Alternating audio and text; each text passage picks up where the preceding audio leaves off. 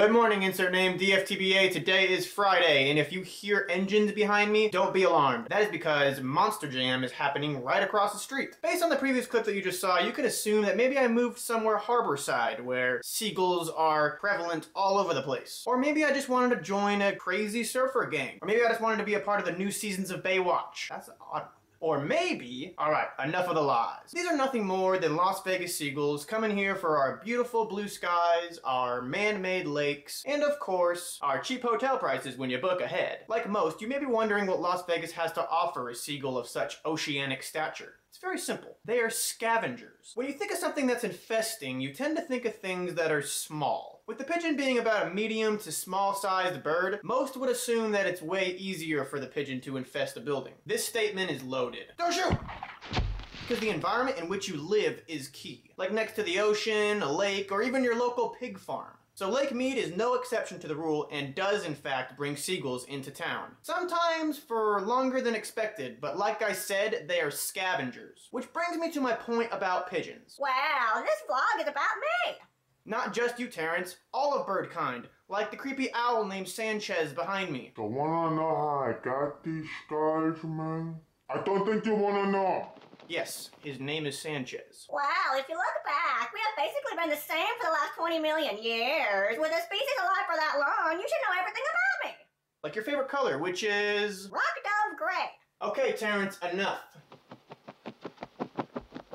My point is that scavenging birds like pigeons, seagulls, sparrows, starlings, and owls like Sanchez over here is that they all adapted to coexist with humans. Some adaptations are our fault, like rooftop air conditioners, eaves, poorly sealed attics, natural environmental destruction, and large neon signs. Even roof tiles are our fault.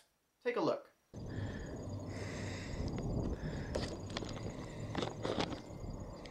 You can see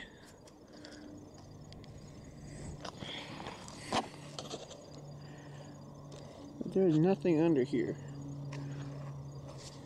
But a long, long void. It is very hollow. Wow. Um, it's very hollow. It's very empty. Basically just a long, empty hallway. Each one of these layers of roof tile.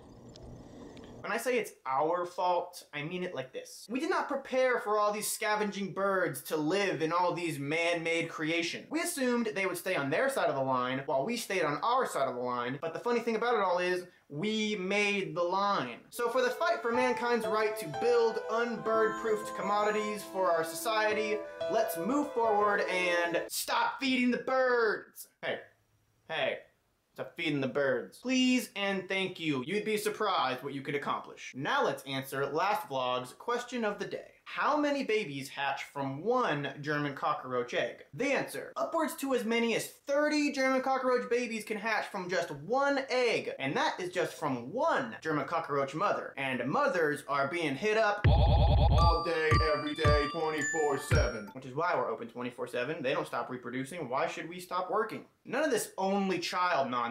Half for males, half for females. End of story. I don't care what they're named. With a life cycle of only a couple of months, it is no wonder how these creatures reproduce at such lightning speeds with their brothers and sisters. Coincidentally, that last fun fact will also get you extremely grossed out at lightning speeds. Insert name!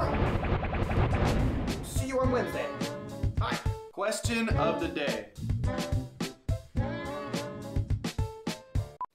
Call me Sanchez.